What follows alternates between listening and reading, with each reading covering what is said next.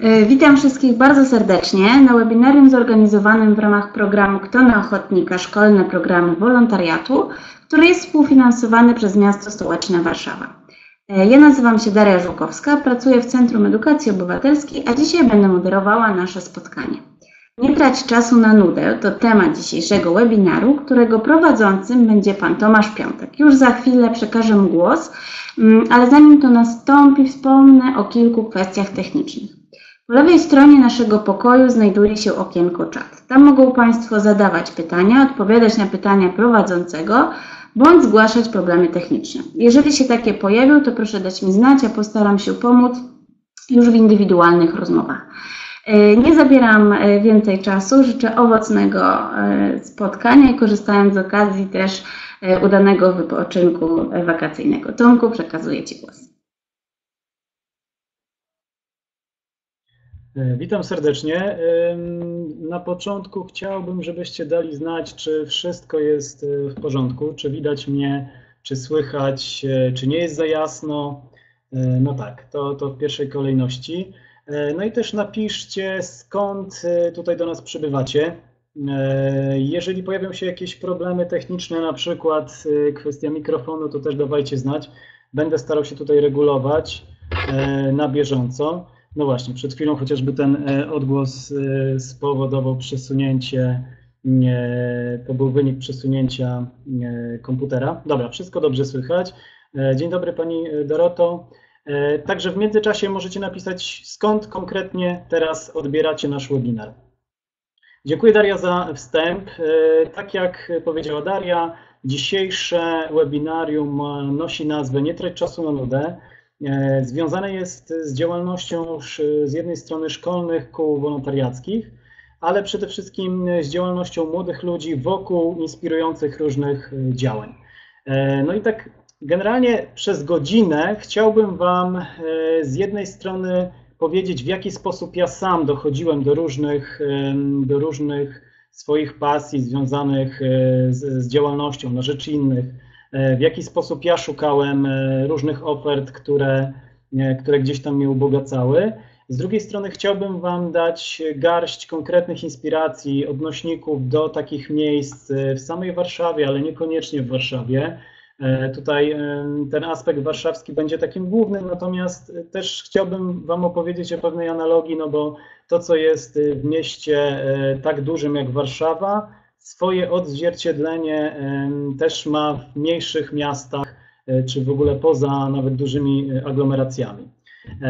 Dobra, na samym początku chciałem, żebyśmy przeszli przez kilka takich kroków, które jakoś pozwolą Wam e, z jednej strony spojrzeć, czego poszukujecie w działaniach prospołecznych, e, w takich działaniach, które właśnie z jednej strony mm, są na rzecz innych osób, ale jak najbardziej też e, dzięki działaniu na rzecz innych osób, i to już wiecie po swojej aktywności, mniejszej lub większej, też nie mam do końca takiej wiedzy, jak bardzo jesteście zaangażowani w działania wolontariackie, w działania tych kół, czy być może w działania jakieś e, poza, też pozaszkolne, e, to może też to jest taki moment, żebyście o tym mi napisali. Dzień dobry, tutaj właśnie Szkoła Podstawowa e, w Starym Wiśniczu, dwóch uczniów z klasy siódmej, dwóch gimnazjum i trzech z gimnazjum.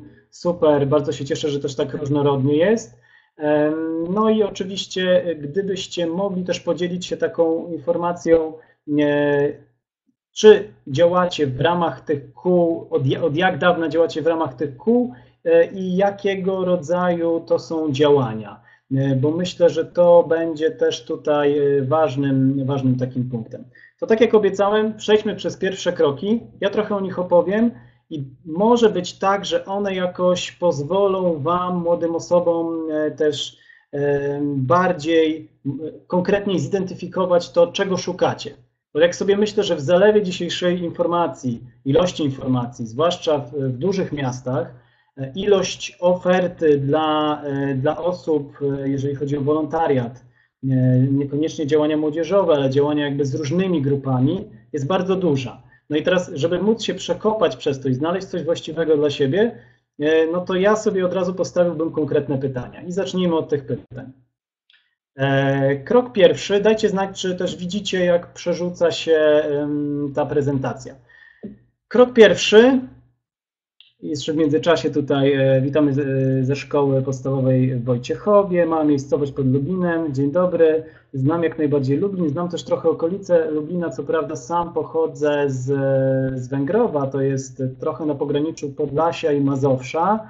E, nie przedstawiałem się celowo na początku, bo gdzieś ta notka o mnie jest, ale też e, kilka słów w międzyczasie powiem, a bardziej też mi zależy, żeby mówić o sobie w kontekście działań i w kontekście konkretnych rzeczy, które robiłem, a niekoniecznie od razu na początku powiedzieć, jak, czym się zajmuję, bo chciałbym przejść do tego płynnie. E, pierwszy, pierwszy krok. Czego tak naprawdę potrzebujesz? Ty, jako osoba szukająca oferty dla siebie, takiej Załóżmy, że już jesteście na takim etapie, że wykonaliście krok zero. Krokiem zero jest zaangażowanie się, czy takie poczucie, że działanie wolontariackie, działanie dla innych, na rzecz innych jest moim konikiem. Albo na przykład nawet zastanowienie się, kurczę, chciałabym, chciałbym e, zrobić coś na rzecz innych, może to jest dobra droga. Jeszcze tego nie robiłam, nie robiłem, ale być może to jest dobra droga.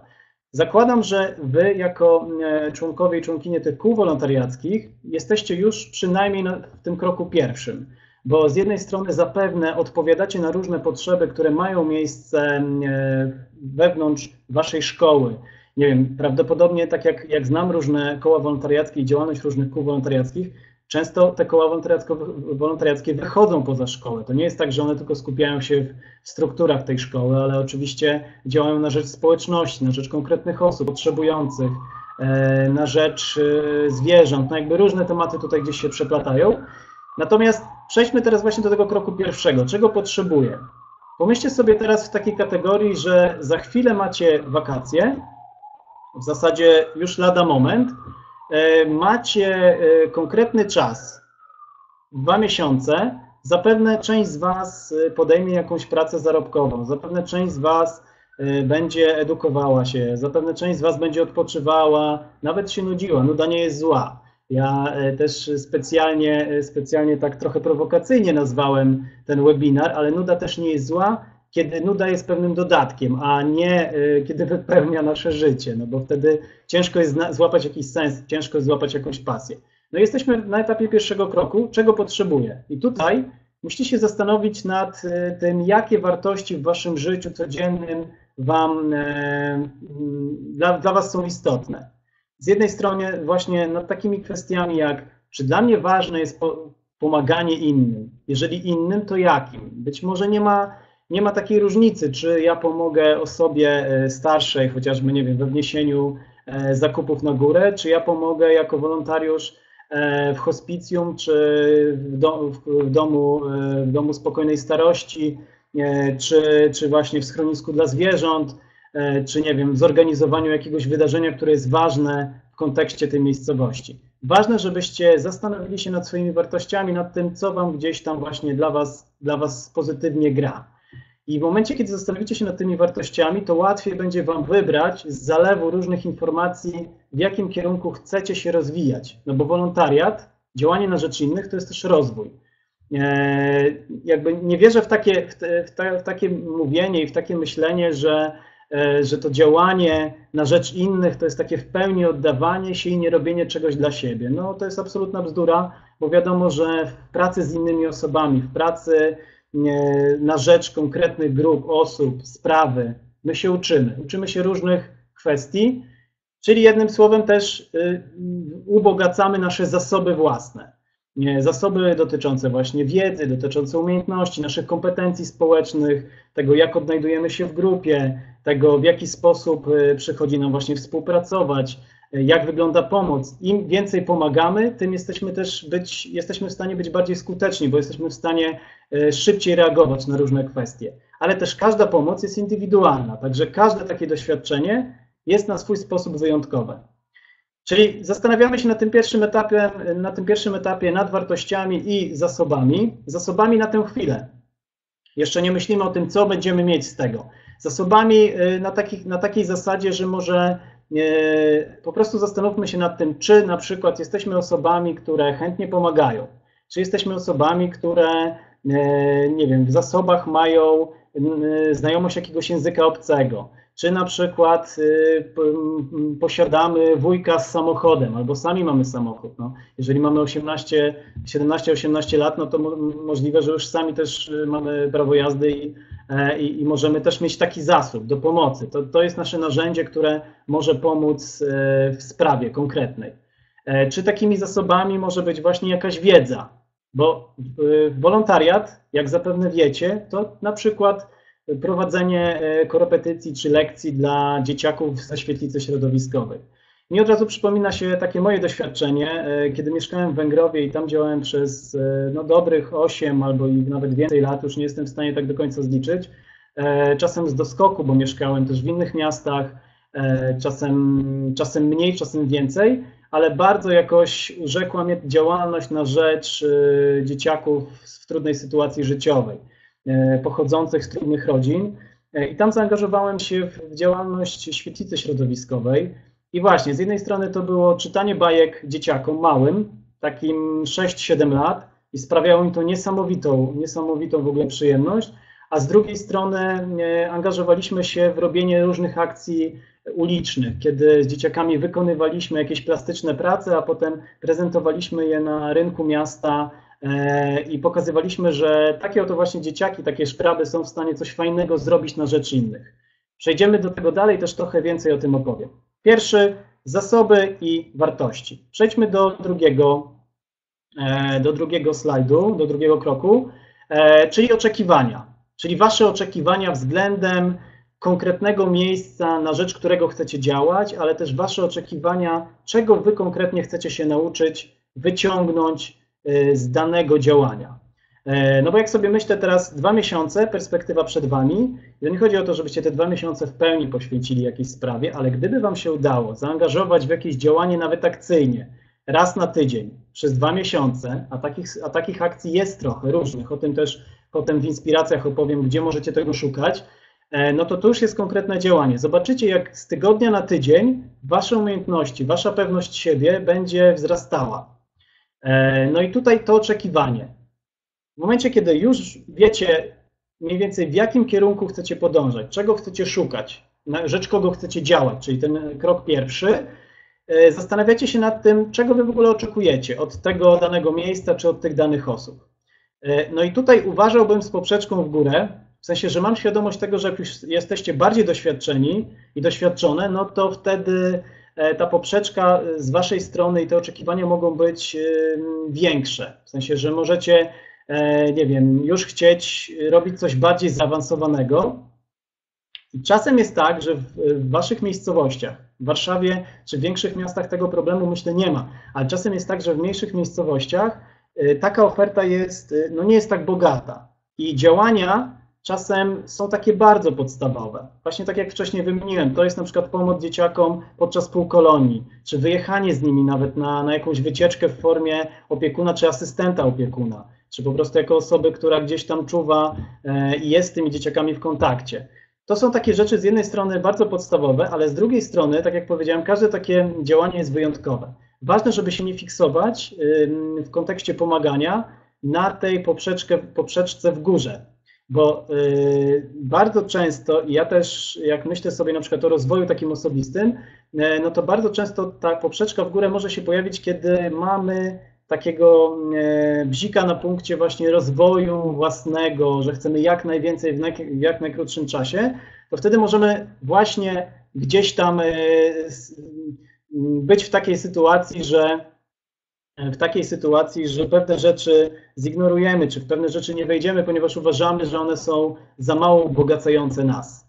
Ja proponowałbym Wam, żebyście próbowali, że na przykład jeżeli słyszycie osoby z Alzheimerem, jeżeli słyszycie e, osoby z zespołem Downa, czy jeżeli słyszycie e, pomoc e, osobom bezdomnym, czy zorganizowanie imprezy plenerowej na rzecz konkretnej grupy, to spróbujcie też przełamać swoje stereotypy, bo gdzieś te stereotypy w nas są, gdzieś one siłą rzeczy po prostu powstają i w momencie, kiedy zrobimy ten krok, kiedy pojawimy się tam, spróbujemy czegoś, może się okazać, że w ogóle to będzie super zabawa, a jeżeli nie super zabawa, to może być ciężka praca, ale coś, co będzie dla Was w perspektywie waszego dalszego życia, w perspektywie waszych kolejnych doświadczeń coś bardzo kluczowego.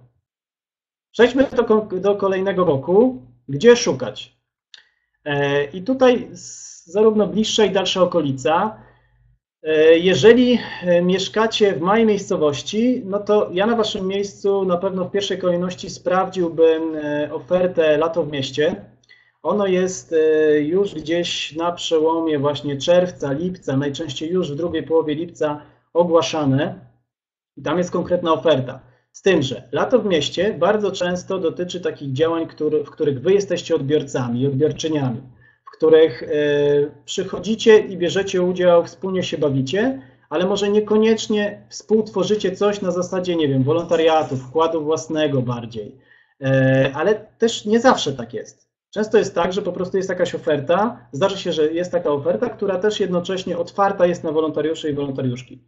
E, natomiast to jest jedna z opcji, lato w mieście. Oprócz tego zainteresowałbym się na Waszym miejscu organizacjami pozarządowymi, które działają aktywnie. I taką listę organizacji znajdziecie na stronie Waszej gminy, Waszego miasta. Często działają federacje organizacji gdzieś lokalnych u Was, które zrzeszają najaktywniejsze organizacje.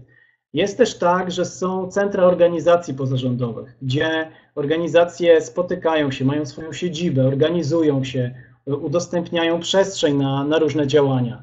Tam też możecie znaleźć e, sporo inspirujących e, rzeczy. Jest też prawda taka, że nie zawsze organizacje e, potrafią pozyskiwać wolontariuszy, także czasem po prostu to jest też kwestia informacji. Może być tak, że oni potrzebują jakichś osób w perspektywie najbliższego czasu, ale ta informacja gdzieś w internecie na przykład nie krąży. No i mam, taki, mam takie doświadczenie e, z, właśnie z, mojego mieszkania, z mojego działania w Węgrowie, gdzie część z organizacji no, nie była jakoś e, biegła internetowo, no bo to były organizacje, które działają na rzecz właśnie osób starszych, osób o różnym stopniu niepełnosprawności, no i, i niekoniecznie jakby dotarły, y, dotarły, docierają do internetu, bo dla nich grupą docelową są te osoby, które niekoniecznie też korzystają z internetu na co dzień. I często najprostszą rzeczą jest po prostu udanie się do takiej organizacji, pogadanie, zadzwonienie. Czasem może to być zaskakująca sytuacja, bo nagle osoba powie, y, ale jak pani nas znalazła, jak pan nas znalazł?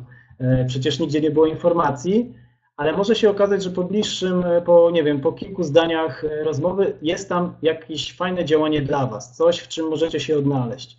E, my w Węgrowie robiliśmy Centrum Organizacji Pozarządowych, ono cały czas funkcjonuje w trochę zmienionej formie, natomiast cały czas tą, są tam organizacje, które ze sobą są w jednym budynku, organizują różne rzeczy, czasem oddzielnie, czasem razem. Siłą rzeczy no, jest tam też jakaś synergia, jest, jest tam po prostu wspólne bytowanie. E, no i właśnie pamiętam, że bardzo często przyjście i porozmawianie z tymi osobami dawało konkretny obraz, czego one potrzebują i w jakim zakresie można się zaangażować. E, jeszcze jedną rzeczą, bo jak mówię o, tych, o tej lokalności, to wychodzi też kwestia włączania się w takie procesy e, wpływu na lokalne, na, na lokalne otoczenie. W Węgrowie w pewnym momencie powstała Rada Seniorów, która miała konkretny głos, e, która była stworzona przez właśnie seniorów, przez animatorów też, którzy akurat przyjechali z zewnątrz, ale też przez osoby takie 18 plus, które, e, które jakoś też wspólnie działały z tymi seniorami. I ta Rada Seniorów miała, miała takie zadanie, żeby głos seniorów był bardziej słyszalny w miejscowości, żeby te potrzeby seniorów były bardziej dostrzegalne. No i wszystkie osoby, które się angażowały w proces tego działania, też robiły to na zasadzie wolontariatu. E, chcę powiedzieć o tych radach seniorów, bo są też e, różnego rodzaju rady. Są konkretne ciała, które dotyczą konkretnych spraw, takie jak edukacja, e, jak sport, jak zdrowie. One działają tak naprawdę w każdej gminie. W dużej mierze są to przedstawiciele różnych instytucji, ale też organizacji pozarządowych, też takie wolni animatorzy, którzy, którym zależy na sprawie. Fajnie, żebyście sobie gdzieś w międzyczasie, może nie teraz, ale później wygooglali, wygooglowali, e, czy działa w Waszej miejscowości właśnie jakaś rada na rzecz konkretnej sprawy. W Warszawie są, są komisje e, dialogu społecznego, Z tego co kojarzę, to teraz nawet zmieniły nazwę, nazywają się branżowymi komisjami dialogu społecznego i one są zarówno w konkretnych działkach, z tym, że tam biorą udział mm, właśnie instytucje, ale też organizacje pozarządowe. Natomiast też nie sądzę, żeby był taki problem, żebyście zgłosili się do jakiejś organizacji, E, i chcieli na przykład wziąć udział w takim spotkaniu, zobaczyli na czym polega taka praca. Dlaczego o tym mówię? Bo to jest świetne miejsce dla osób, które chcą mieć poczucie sprawczości w danej miejscowości, w danym miejscu. Nie musi to być cała miejscowość, może to być osiedle, bo są też rady osiedlowe, są rady dzielnicowe, e, są młodzieżowe rady miasta. Pewnie znacie, pewnie część w waszych, w waszych miastach funkcjonuje takich rad, młodzieżowych rad miejskich. E, natomiast Ważne, żeby mieć świadomość tego, że są różnego rodzaju ciała, które, których głos jest słyszalny szerzej przez samorządowców, przez właśnie władze lokalne, przez inne instytucje i ten głos udzielany, ten głos wypracowywany, bo to, jest, to nie jest często łatwa praca, to jest spotykanie się, E, główkowanie, wymyślanie różnych możliwości, ale też szukanie różnych możliwości, spotykanie się później właśnie z samorządowcami, z innymi organizacjami, z innymi ciałami, e, ale to, co jest ważne, to że z tego potrafią być efekty. W przypadku Węgrowa takim efektem e, były, był głos słyszalny, usłyszalny przez, przez władze miasta dotyczący seniorów, bo seniorzy przez około roku działali razem w takiej radzie nie mam takiej wiedzy, czy teraz ta rada funkcjonuje, ale ten głos, y, ten głos jakby przerodził się w konkretne działanie. Po pierwsze, y, w takim programie współpracy z organizacjami pozarządowymi, bo każda gmina y, ma taki program współpracy. Jeśli nie ma, no to ma obowiązek mieć. I tam zapisane są konkretne punkty, w jaki sposób ta współpraca czy z grupami nieformalnymi, czy z, czy z obywatelami, czy z mieszkańcami, mieszkankami danej społeczności, czy też z organizacjami pozarządowymi wygląda, na jakich zasadach, jak to jest w ogóle, jakie są na to regulacje, no to w momencie, kiedy ci seniorzy dochodzili do głosu, kiedy opowiadali, czy na, na radach, czy na spotkaniach Rady Miejskiej, czy na spotkaniach takich wewnętrznych, gdzie zapraszali też właśnie przedstawicieli różnych ciał i instytucji, w tym momencie został w pewnym momencie usłyszany ich głos, i e, zarówno w programie współpracy zapisane dokładne, konkretne zapisy dotyczące z jednej strony środków, które e, co roku teraz są wydatkowane, one co roku są zwiększane na działania na rzecz seniorów, tam jakby w lokalnej społeczności, jak i, jak i w ogóle takie uwzględnianie tego głosu seniorów w różnych ważnych kwestiach. No i to tak jest, że w momencie, kiedy wy jakby gdzieś nie wychodzicie z jakąś, z jakąś inicjatywą, kiedy się nie mobilizujecie, no to ten głos wasz będzie pomijany, no bo was nie ma, nie uczestniczycie w czymś. Chciałem zaznaczyć poprzez to mówienie o tych radach, że wolontariat to nie musi być, niekoniecznie musi być takie działanie, że akcyjne. Idziecie, robicie konkretną akcję, e, macie potem satysfakcję, pomagacie komuś, ale też wolontariat może być takim działaniem, które, e, które właśnie jest długofalowe, bo działanie na przykład w ramach takiej rady, czy młodzieżowej rady miasta, czy takiej grupy nieformalnej, bo nie musicie być konkretnie na samym początku zawiązani, najpierw jakoś sformalizowani. Na początku ważne, żeby zdiagnozować w ogóle, jakie są obszary w waszej miejscowości, które wymagają jakiejś interwencji. I to zarówno interwencji, bo jesteście młodymi osobami i chcecie e, zwrócić uwagę na problem, że nie ma, nie ma skateparku, czy nie ma jakiegoś miejsca dla młodzieży, które jest otwarte, czy nie ma, e, czy nie ma właśnie ławeczek dla osób starszych. Wy jako młodzi ludzie macie prawo głosu i w momencie, kiedy e, i w momencie, kiedy próbujecie zmobilizować też inne osoby, kiedy na przykład znajdzie się wasza trójka, piątka takich osób e, i pójdziecie do jakiejś organizacji, która jest, wiecie, że jest aktywna, ona nie musi się konkretnie zajmować takim tematem związanym e, z, właśnie z tak zwaną partycypacją, tak zwanym włączaniem, tak zwanym uczestniczeniem takim bardzo aktywnym e, w różnych procesach, ale ona może być organizacją, która jest znana, jej przedstawiciele mają e, znajomości właśnie gdzieś w samorządzie, są rozpoznawalni, że pójście nawet do takiej organizacji i powiedzenie Dzień dobry, mamy taki pomysł, ale nie wiemy, z której strony to ugryźć. No i oczywiście czasem może być taka sytuacja, to mi się też zdarzało, że czasem osoby w różnym wieku mówiły mi, e, to się nie uda. e, nie przebijesz głową muru, no próbował już ktoś, tego, tego się nie da. Dlatego ważne jest, żeby od małych kroczków zaczynać. Też jest tak, że w momencie, kiedy wy działacie gdzieś wolontariacko, e, funkcjonujecie już jako konkretne osoby, czy jak konkretne grupy, to łatwiej będzie wam się przebić potem i powiedzieć, tu robimy fajne rzeczy, ale chcielibyśmy też jakieś rzeczy dla ogółu, dla jakichś konkretnych grup robić, bo zauważamy taką potrzebę. E, I myślę sobie tak, dzisiaj, w momencie, kiedy jest jednak, mm, jest jednak większe zainteresowanie właśnie partycypacją, włączaniem różnych grup społecznych w procesy zmiany, e, to trudniejsza będzie taka sytuacja, że samorząd powie Wam, nie, w ogóle nie robimy tego, że wiecie, że po prostu oleje Was zignoruje.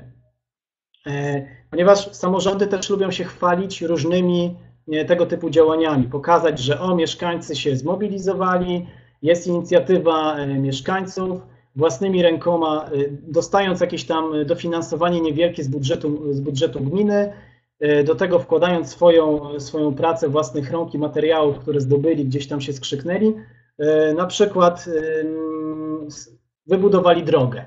Są takie sytuacje. Albo na przykład odświeżyli czy wyremontowali świetlicę, która w danej miejscowości jest jedynym miejscem, czy wsi, jedynym miejscem, które, które jest w ogóle jakoś, skupia ludzi wokół siebie. Także ważne, żebyście pamiętali o tym, że tych możliwości jest wiele.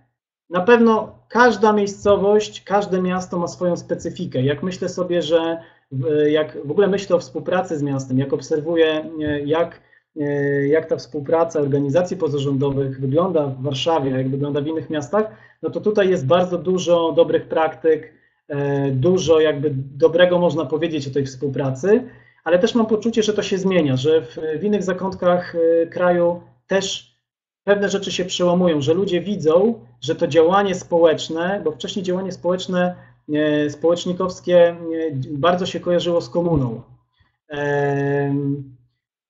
Tak, tutaj właśnie webinarium jest nagrywane, więc y, będzie można wrócić do początku, jak najbardziej. E, to działanie społecznikowskie bardzo, e, bardzo gdzieś tam kojarzyło się z komuną, a tak naprawdę swoje korzenie e, no, ma dużo, dużo wcześniej. Jak przyjrzycie się działaniom wokół spółdzielczym, gdzieś na przełomie XIX-XX wieku, i wpiszecie sobie Edward Abramowski, czy, czy właśnie jakieś, czy, czy wpiszecie sobie uniwersytety ludowe, czy wpiszecie sobie e, działania konkretne w małych miejscowościach w tamtym okresie, to zobaczycie, że sporo było takich aktywności, które gdzieś tam rozbudzały ten potencjał wsi, miejscowości, gdzieś tam ubogacały tą kulturę lokalną, e, czy, czy, czy po prostu dawały większy sens w tym funkcjonowaniu. Faktycznie jakby w pewnym momencie za komuny to, to, takie, to takie mówienie, to spo, działanie społecznikowskie, działanie społeczne bardzo mocno było skupione wokół właśnie tej centralizacji, tego, że jak e, partia, e, partia nakaże, no to po prostu tak trzeba zrobić. No i się też wcale nie dziwię, że po 1989 roku gdzieś to w wielu głowach zostało, że to działanie społeczne niekoniecznie jest takim działaniem społecznym, że to gdzieś ma w sobie jakiś podtekst być może nawet polityczny. E, no to chcę tylko powiedzieć o swoim doświadczeniu. Ja e, zaczynałem z takimi działaniami około gdzieś roku 2004, gdzie najpierw ze znajomymi założyliśmy radio internetowe i wydaje się, no też jakby działanie niekoniecznie związane z wolontariatem, natomiast my przez dwa lata, bo potem to radio e, się zamknęło, podjęliśmy też decyzję, że to jest taki moment, w którym, e, w którym my e, kończymy tą działalność na rzecz innych aktywności, ale przez te dwa lata bardzo dużo nauczyliśmy się i to działanie było w pełni wolontariackie. Nie tylko to było działanie lokalne, ale to było działanie regionalne i działanie ogólnopolskie, ponieważ my to radio internetowe współtworzyliśmy z 20, prawie 30 osobami mieszkającymi w całej Polsce.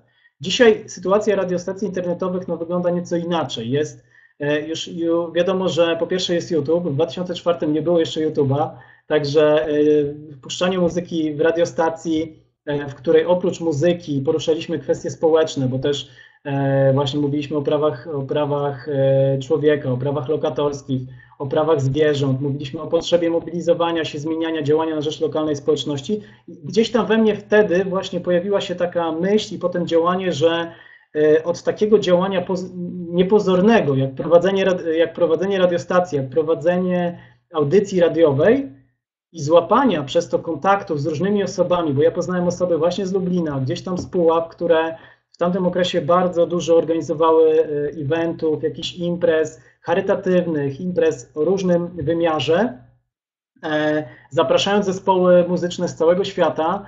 E, I to naprawdę się udawało, to jakby to nie generowało nie wiadomo jakich kosztów, bo te zespoły jeździły za zwroty kosztów podróży, ale to, co mi się jakoś bardzo podobało, to że z niczego ludzie byli w stanie i są nadal w stanie robić fajne rzeczy.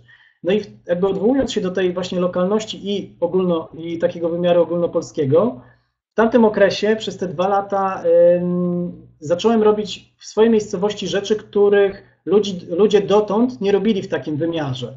E, to było też tak, że po, po ponad 10 latach e, ruszyliśmy z cyklicznymi imprezami. Pierwsza taka impreza była poświęcona e, właśnie schronisku węgrowskiemu dla zwierzaków. E, I dużo osób mi mówiło, to nie ma sensu, nikt ci nie przyjdzie, albo przyjdą i rozwalą to wydarzenie. Będzie 15 osób. Było 250 osób. Na pierwszym koncercie takim po ponad 10, po ponad 10 latach. E, wcześniej działy się jakieś, były jakieś właśnie licealia, były takie, były takie wydarzenia, które no, trochę miały jednak wyraz y, ten wymiar komercyjny, bo też no, trzeba było kłaść na to duże pieniądze, żeby to zorganizować. My to zrobiliśmy praktycznie bezkosztowo z biletów. Część pieniędzy przeznaczyliśmy na, e, na sprzęt, na wynajem sprzętu, ale to była niewielka, niewielka kwota, a pozostały cały dochód przeznaczyliśmy na schronisko węgrowskie. I potem pojawiały się kolejne wydarzenia, które po, po, tym wydarzeniu po prostu zobaczyliśmy, że to ma sens, że ludzie przyjeżdżają e, nie tylko z samego, e, jakby nie tylko z samych okolic Węgrowa, ale jadą 60-80 kilometrów. Mówię też specjalnie o tym e, dlatego, żeby pokazać Wam, że czasem takie niepozorne rzeczy potrafią przerodzić się w coś, co długofalowo może przynieść Wam niesamowitą energię, niesamowitą pasję, E, umiejętności też różnego rodzaju. Bo jak siebie przypominam, e, jeszcze jak byłem w liceum, e, jak byłem bardzo nieśmiały i potem, kiedy, kiedy siadałem za mikrofonem radiostacji i przełamywałem swoją nieśmiałość, ale to było komfortem, że ja nie widziałem ludzi, tak jak nie widzę Was teraz tutaj i, i jak nie, nie stresuję się tą sytuacją, też jest to wynikiem tego, że kiedyś już tą, jakby odrobiłem tą pracę domową, że ileś tam osób E, do mnie pisało, bo mieliśmy jakiś panel, e, gdzie osoby mogły wpisywać pozdrowienia, różne opinie i tak dalej, natomiast ja ich nie widziałem. No ale to gdzieś tam było stresujące. Słyszysz swój głos, dzisiaj na szczęście nie słyszę swojego głosu, bo to jest rozpraszające.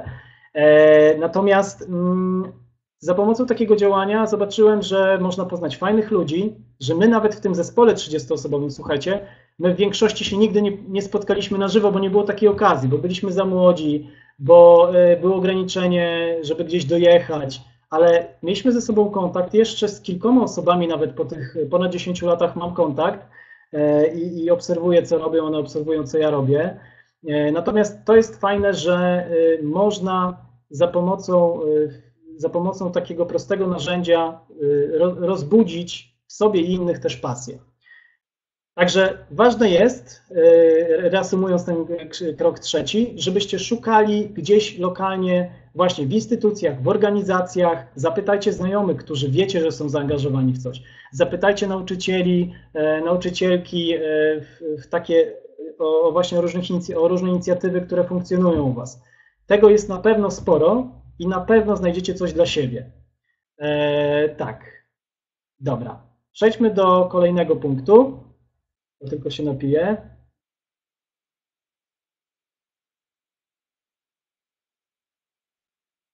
A kolejny punkt to tak, kolejny punkt to krok czwarty, razem do celu. No właśnie, takie fundamentalne pytanie, a co z waszymi znajomymi? No bo szczerze mówiąc, oczywiście samemu można działać, można różne rzeczy robić. E, ale wiadomo, że prężniej e, i fajniej jest w momencie, kiedy, w momencie, kiedy jest Was więcej. Kiedy możecie też z osobami, które lubicie, z którymi lubicie spędzać czas, możecie też coś razem zrobić. Jakby to mogą być znowu proste rzeczy, ale pamiętajcie, że razem jest jakoś też raźniej. W momencie, kiedy wchodzicie w nowe środowisko, w nowe osoby, spotykacie się z, z nowymi organizacjami, z którymi wcześniej nie mieliście do czynienia, no to wiadomo, że jak weźmiecie kolegę, koleżankę, którą dodatkowo wiecie, że też nudzi się, że, że też potrzebuje jakichś bodźców, no to, no to ewidentnie sprawi Wam to też przyjemność. Może się okazać, że po prostu razem się będziecie też nakręcać do kolejnych jakichś inicjatyw e, tego typu. No bo tak jak mówię, no samemu można pójść, można mieć też taką motywację, żeby e, funkcjonować na zasadzie takiego, przepraszam, takiej, e, takiej satelity samodzielnej, robiąc różne rzeczy, ale siłą rzeczy, po pierwsze, w tych miejscach poznacie różne osoby, z którymi możecie też poza tą pracą wolontariacką, bo to jest praca, trzeba o tym powiedzieć konkretnie, że wolontariat to jest praca nieodpłatna, ale praca, e, że poza, tą, poza tym wolontariatem też e, możecie e, spotykać się przecież z tymi osobami, mogą Was połączyć różne pasje, może się okazać, że ktoś jest z innej szkoły, znacie jakieś osoby z tamtej szkoły, ale akurat tej osoby nie znacie, wspólne tematy, wspólne pasje mogą się pojawić. Ważne, żebyście szukali, tak sugeruję, żebyście szukali też takich sojuszników do działań podejmowanych już na tym, na tym etapie, kiedy, kiedy chcecie po prostu, nie wiem, działać na rzecz czegoś, kogoś. Wiadomo, że szukanie sojuszników na rzecz konkretnej sprawy to jest jeszcze inna sprawa.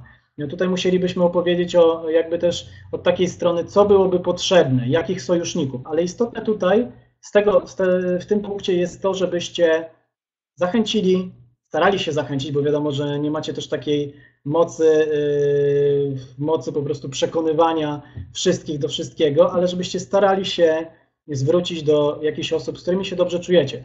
Będzie Wam raźniej.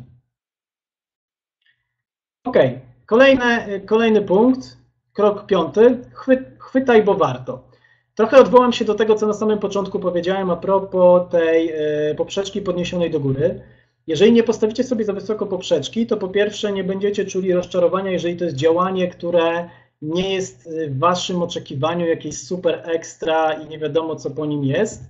E, ważne, żeby małymi krokami i też z pokorą. Jakoś dla mnie po tych iluś latach działalności, tych, tych różnych działań, już teraz mniej więcej 13 latach, jakoś istotne jest to, że z prostych rzeczy ja czerpię radość. I w momencie, kiedy mogę komuś pomóc, kiedy nawet staję się domem tymczasowym dla, e, dla zwierząt, bo zdarza się, że tak się, że tak się staje, to ja czuję wewnętrzną satysfakcję, bo daję tej istocie, czy komuś, e, czy komuś po prostu coś, co ta osoba wcześniej nie dostała. I tak samo jest, słuchajcie, z odwiedzaniem osób starszych, e, właśnie czy w hospicjach, czy, e, czy w klubach seniora, czy w jakichś miejscach, które, w których osoby starsze, e, czy nie tylko osoby z niepełnosprawnościami są i trochę są skazane na taką samotność. W momencie, kiedy przyjdziemy, pogadamy z nimi, zagramy w jakąś planszówkę, zagramy w warcaby, w szachy, obejrzymy razem film, porozmawiamy o jakiejś książce, zobaczycie, że da Wam to takie poczucie przede wszystkim człowieczeństwa, takiego zwykłego, prawdziwego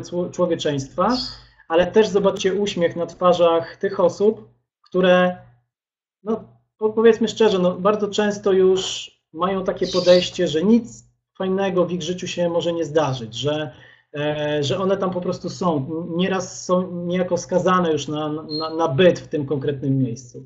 I zobaczycie, że przede wszystkim poznanie takich osób, poznanie różnych grup, poznanie różnych tych działań, osób przez działania, jest w stanie Was bardzo ubogacić przez doświadczenie, tak jak tutaj jest na slajdzie e, zapisane, przez znajomości. Może się okazać, słuchajcie, że e, ta osoba starsza, z którą rozmawiacie, e, jest, była, jest z wykształcenia historykiem sztuki. Ja mam takie doświadczenie, jak pracowałem w jednej z organizacji pozarządowych e, kilka lat temu, to e, tam była grupa e, seniorów, którzy, którzy właśnie się ze sobą spotykali i potem pojawiła się tam, pojawił się taki aspekt zanimowania tego całego procesu, czyli też trochę zachęcenia ich do tego, żeby oni też coś od siebie dali, nie tylko się spotykali we własnym gronie. I słuchajcie, no i w międzyczasie okazało się, że właśnie, że jeden pan jest historykiem sztuki, y, profesorem, który 30 czy 40 lat swojego życia spędził e, w Belgii, e, natomiast kocha po prostu sztukę, kocha wykładanie, e, studentom swojej wiedzy i, robił, i robi to, bo on cały czas to robi, w sposób niewiarygodny, taki cały czas z pasją. No i pan ma dzisiaj 80 parę lat, że, że, inny, że inna osoba zajmuje się majsterkowaniem, że jeszcze inna osoba zajmuje się literaturą. No i okazuje się, że zaczęły te osoby organizować e, konkretne spotkania na rzecz różnych osób, wolontariacko, typowo, zapraszać całe pokolenie osób, kilka pokoleń osób e, i, i robić, coś, robić coś razem. No i to był wolontariat, jak najbardziej. E, to było takie zetknięcie się z, konkretnie z tymi osobami, zobaczenia, że niezależnie od wieku ta wartość w nas jest cały czas. Bym powiedział nawet, że ona jest nawet jeszcze większa, ponieważ po pierwsze przeżyliśmy bardzo dużo, wiemy e, czego, jakich błędów nie popełniać, nawet jeżeli popełnialiśmy je e, wielokrotnie. E, no i często jako osoby, które już są, bo też jak rozmawiałem z tymi osobami, no to wiem, to dlatego wiem, że często, że często po prostu one już wiedzą, czego chcą ten czas już nie jest tak rozciągnięty jak kiedyś. Już tak nie, planu, nie planuje się tego wszystkiego jak kiedyś. Żyje się chwilą. I to jest piękne. I do tego Was zachęcam, żebyście próbowali właśnie różnych doświadczeń, bo przez to zarówno znajomości możecie mieć takie, że spotykając takiego pana czy panią, e, możecie rozwinąć jakąś swoją pasję, ale też po prostu on może Wam w czymś pomóc. E, wy możecie mu pomóc. To może być coś pięknego, to może być nawet przyjaźń wiedza. Możecie dowiedzieć się o czasach, kiedy was jeszcze nie było na świecie, kiedy nie było waszych nawet rodziców na świecie, a możecie e, też dowiedzieć się o książkach, chociażby o książkach, które ta osoba przeczytała, którym też jakoś ubogaciła się, a których tytułów dzisiaj nie znamy, bo dzisiaj e, może jakby skupiamy się na, na, na innych kwestiach. No i te umiejętności. Bo w momencie, kiedy rozmawiamy z różnymi osobami, kiedy na przykład rozmawiamy z profesorem sztuki, czy rozmawiamy e, z jakąś osobą, która, mm, e, wiecie, no, osiągnęła w życiu bardzo wiele, ale dzisiaj jest osobą starszą e, i już nie jest aktywna tak bardzo, no to patrzymy przede wszystkim, że kurczę, to ja mogę rozmawiać z taką osobą. Co z tego, że jestem niedoświadczony, doświadczona, mam 13 czy 15 lat, ale ta osoba po prostu chcemy słuchać. Ja chcę tej osoby słuchać i to jest właśnie, to jest piękne. Znaczy to, to też o to chodzi. Właśnie o to chodzi w tych działaniach wolontariackich i to zapewne wiecie, nie muszę tego jakby powtarzać. Natomiast y, ważna jest ta różnorodność doświadczeń. Przejdźmy dalej. No i tak, i tutaj y, zatrzymałbym się przede wszystkim przy tych pięciu krokach, y, czyli tak na podsumowanie samych tych pięciu kroków. Zastanawiamy się nad tym, czego my potrzebujemy, w jakim kierunku chcemy szukać. I może być tak, że nie wiemy. I to jest, i tak też się zdarza, że nie wiemy, bo w zasadzie może być tak, że wiele rzeczy nas interesuje, albo na przykład jeszcze tego nie robiliśmy, jeszcze nie pomagaliśmy e, i jesteśmy, e, jesteśmy jakoś zainteresowani, e, żeby po prostu zrobić ten pierwszy krok. To postarajcie się przejść przez to myślenie, o którym wcześniej powiedziałem, czyli zarówno przez wartości, jak i właśnie przez oczekiwania własne, e, jak i przez takie poczucie tej pokory. Znaczy to jest istotne, żeby też od razu, wiecie, nie, nie stawiać sobie, jeżeli się tym razem nie uda, no to już nie będę więcej pomagać, czy nie będę więcej pomagała. No, warto, warto to robić, warto próbować e, i warto się nie zrażać tym, że czasem dorośli, czy wasi rówieśnicy powiedzą, ale to nie ma sensu. Bo istotne jest to, kiedy wy czujecie w tym sens. I e, nawet wpisując gdzieś w internet, jeżeli wpiszecie sobie działania wolontariackie, e, działania właśnie na rzecz osób starszych z niepełnosprawnościami, jest dużo ciekawych praktyk, dobrych praktyk z całej Polski, nie tylko z Polski, e, które pokazują, jak wiele wolontariat jest w stanie dać ludziom. Dalej podsumowanie. Warto, żebyście myśleli kategoriami, możemy to razem z kimś zrobić, możemy tam razem z kimś pójść. Oczywiście, może być tak, że sami ale, i same, ale też myślcie o tym w kategoriach e, pójścia z drugą osobą, bo jest zawsze raźniej. No i kwestia tego, bądźcie po prostu otwarci na to, co tam się wydarzy, bo zapewne, zapewniam Wam to na 100%, przyniesie Wam to nowe doświadczenia, nowe znajomości, nową wiedzę i umiejętności. I dzisiaj możecie tego tak bardzo nie doceniać, ale w przyszłości to docenicie. Ja powiem jednym, jednym dwoma zdaniami o tym, co mi dały działania wolontariackie co mi dało w ogóle zaangażowanie się społeczne na rzecz lokalnej społeczności. E, ja, jak byłem w ostatniej klasie liceum, myślałem o kierunkach biologicznych. Za bardzo też nie, nie wiedziałem, co chcę w życiu robić. I dopiero przez te doświadczenia z radiostacją internetową, z działaniami na rzecz, potem z, właśnie z, ze współtworzeniem Centrum Organizacji Pozarządowych, z działaniami na rzecz seniorów, z działaniami na rzecz e, osób e, właśnie wykluczonych społecznie. E, dużo dla dzieciaków swego czasu też robiłem. Gdzieś właśnie jakieś takie eventy muzyczne pojawiały się.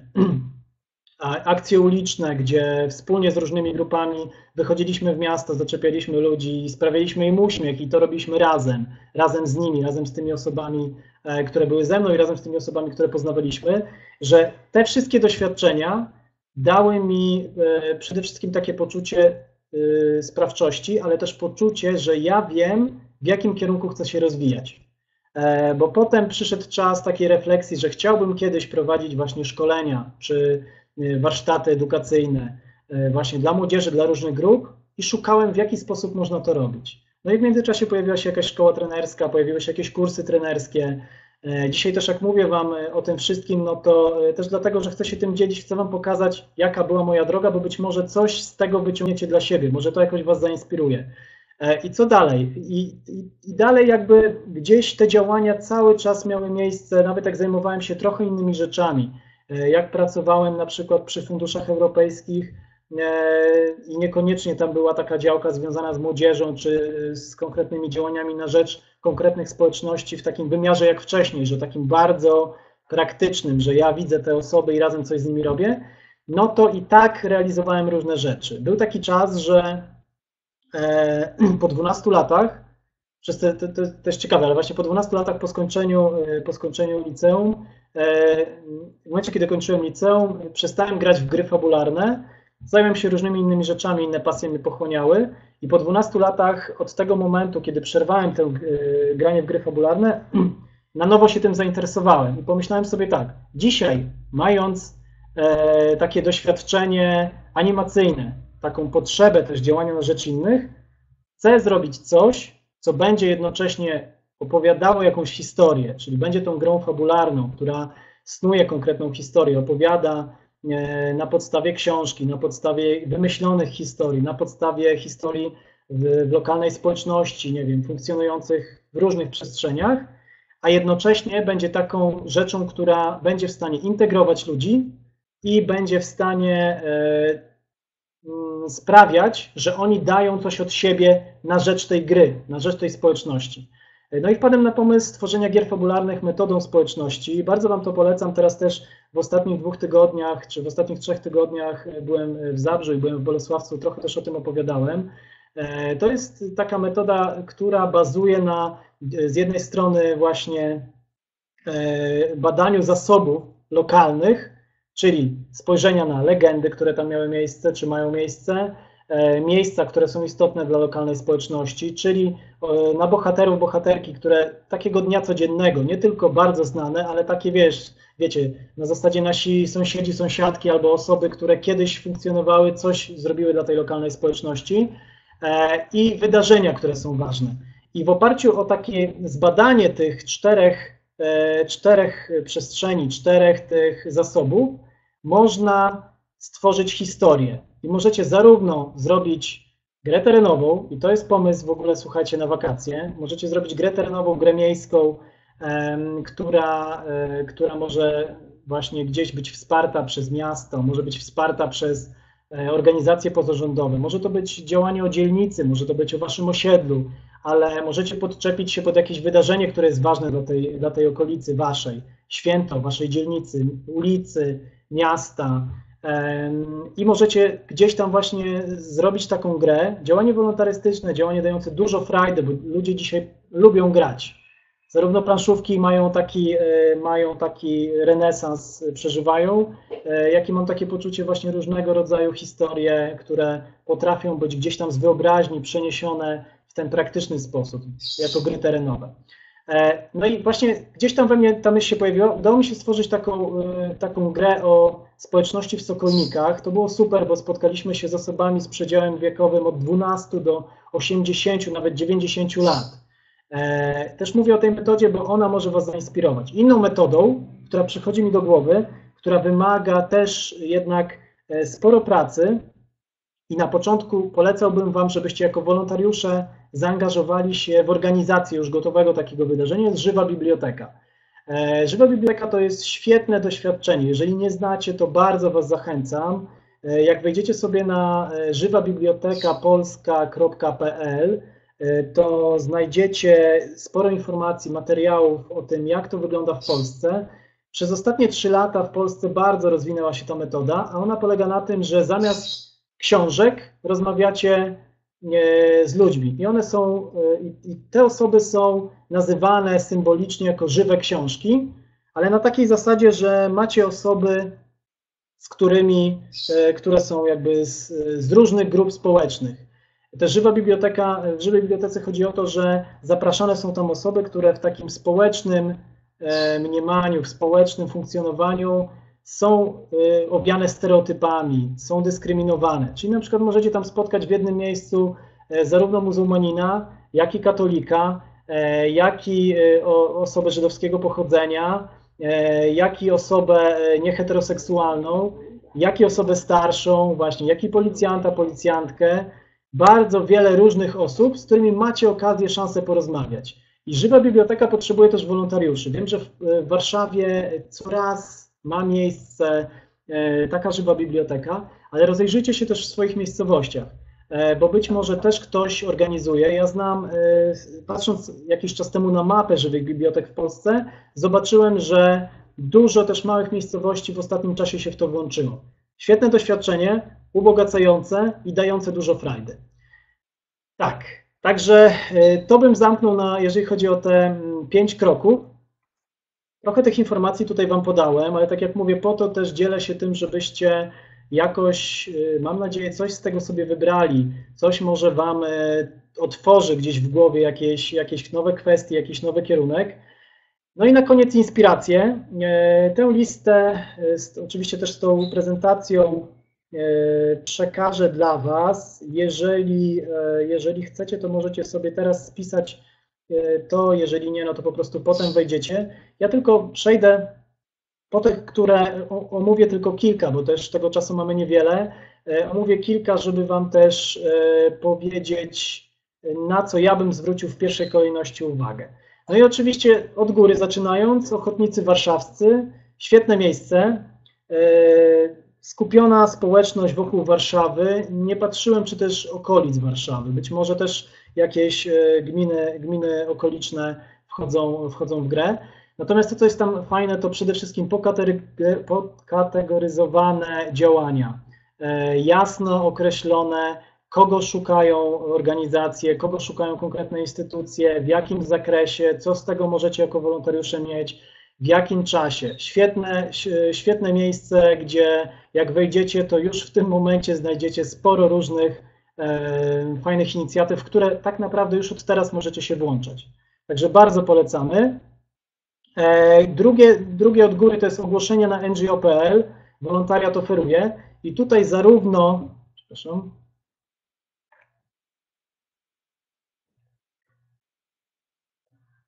I tutaj zarówno, e, znowu, może to mieć wymiar lokalny, warszawski, jak i ogólnopolski.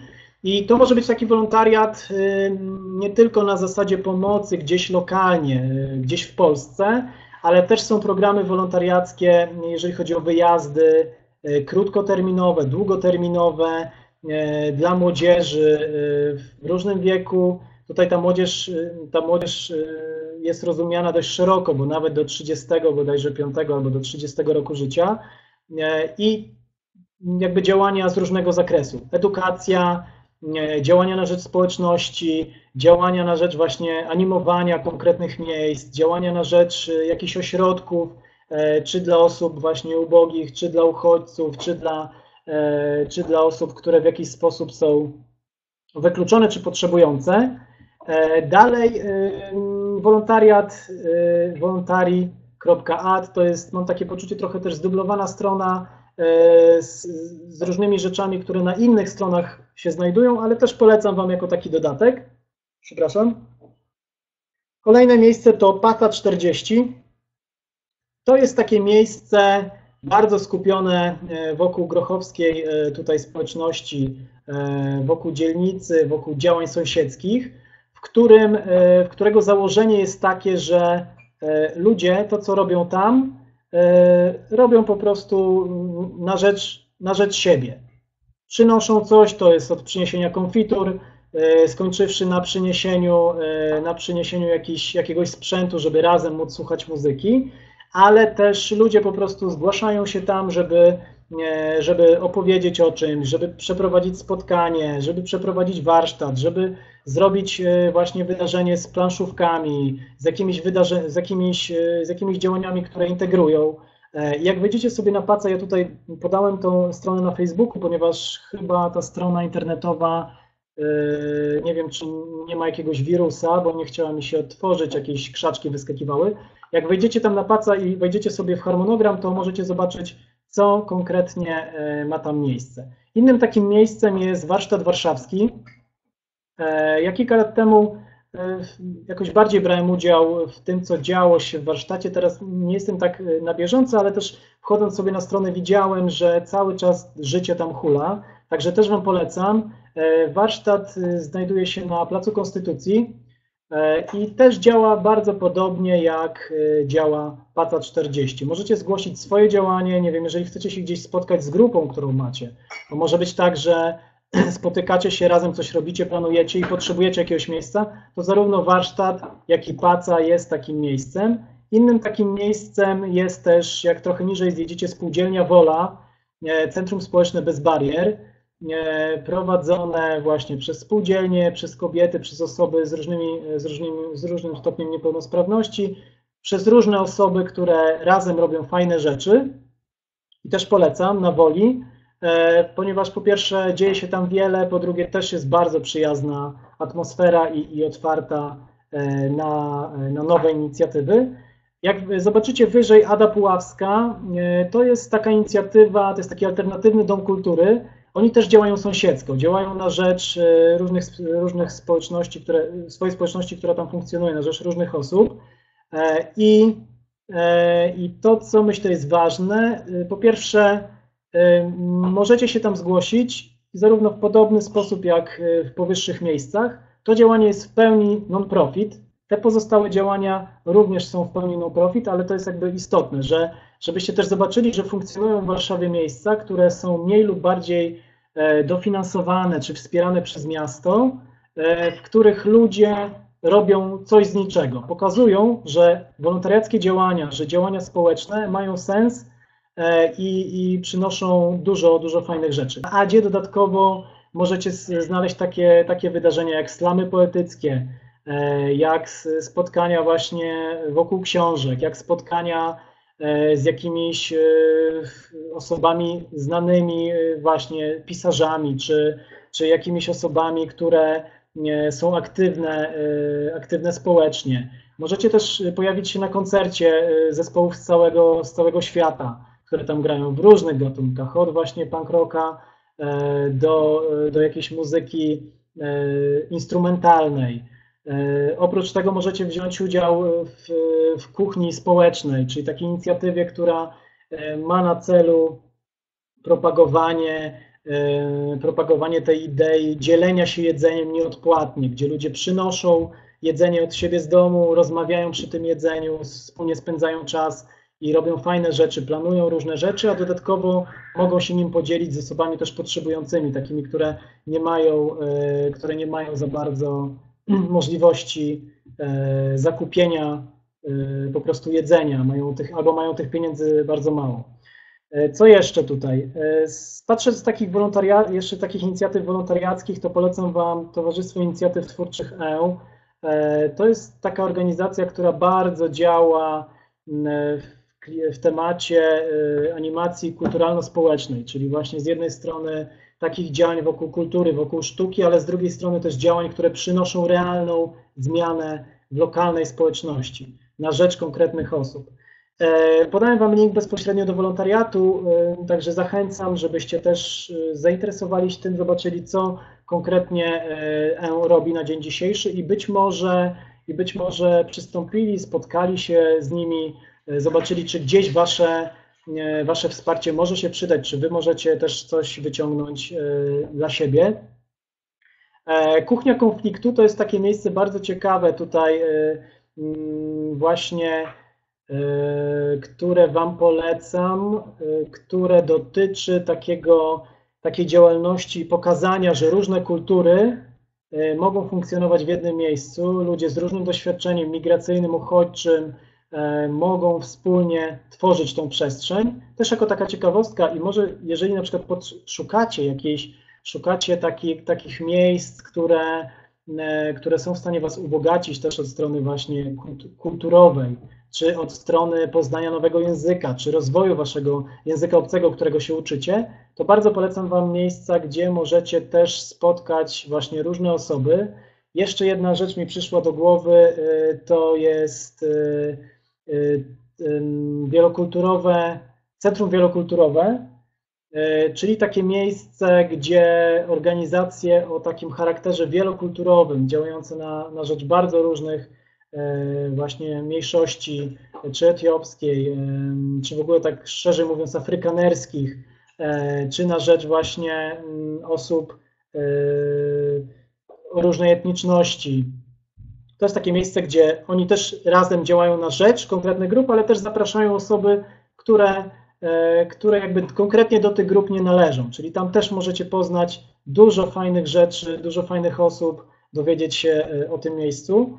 E, I też zachęcam Was do tego, żebyście, bo mówię tutaj o warszawskich miejscach, ale zachęcam Was do tego, żebyście Wy, jako osoby, które nie jesteście z Warszawy, szukały e, lokalnie e, takich organizacji. To, co może Wam się przydać, to baza ngo.pl, czyli przedostatni link.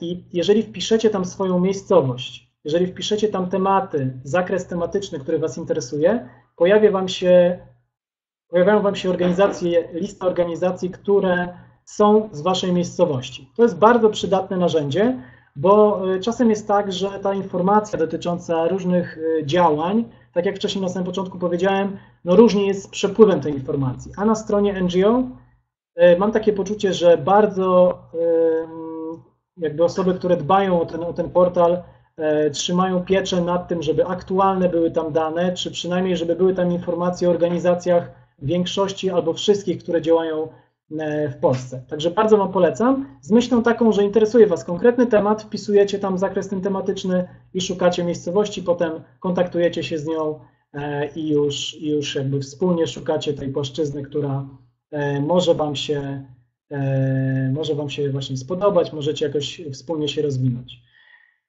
Chyba z takich, chyba z takich rzeczy, które tutaj wymieniłem, to wszystko. Też tych informacji jest trochę. Nie chciałbym się jakoś też szczególnie powtarzać. Mam nadzieję, że ten okres wakacyjny e, upłynie Wam e, bardzo fajnie, że nauczycie się nowych rzeczy, że doświadczycie nowych rzeczy, że nie dacie się nudzie, e, że poza, to, po, poza tym wątkiem takim związanym z właśnie z odpoczynkiem, bo to jest też potrzebne. No, przede wszystkim, ja zawsze to powtarzam, nie zawsze mi się to udawało, ale zawsze to powtarzam, żeby działać na rzecz innych osób, musicie zadbać o siebie. Jeżeli macie poukładane swoje różne kwestie, no to będzie Wam łatwiej zaangażować się e, na rzecz innych osób, e, na rzecz różnych działań. Będziecie mieli po prostu świeższe spojrzenie na to wszystko, bardziej racjonalne. E, tak, także tego Wam bardzo i z całego serca życzę. Szukajcie, na pewno znajdziecie coś dla siebie. E, na pewno dzięki temu, że zaangażujecie się w jakieś działania e, w tych swoich społecznościach lokalnych, przyjdziecie z nową energią już we wrześniu e, i może się zdarzyć tak, a, jestem tego pewien, że jeżeli doświadczycie różnych nowych rzeczy przez te wakacje, to przyjdziecie z nowymi pomysłami. Ja dzisiaj powiedziałem o kilku metodach, powiedziałem o jakichś konkretnych działaniach, które sam podejmowałem w, w tej swojej, podczas tych 13 ostatnich lat. Natomiast oczywiście jest tego o wiele więcej. Myślę, że każdy gdzieś tam powinien szukać tej swojej drogi. Jeżeli macie jakąś pasję, to też szukajcie punktu zaczepienia wokół tych pasji. Także bardzo Wam dziękuję, e, wszystkiego dobrego Wam życzę i zachęcam do kontaktu. Trzymajcie się. Pa, pa.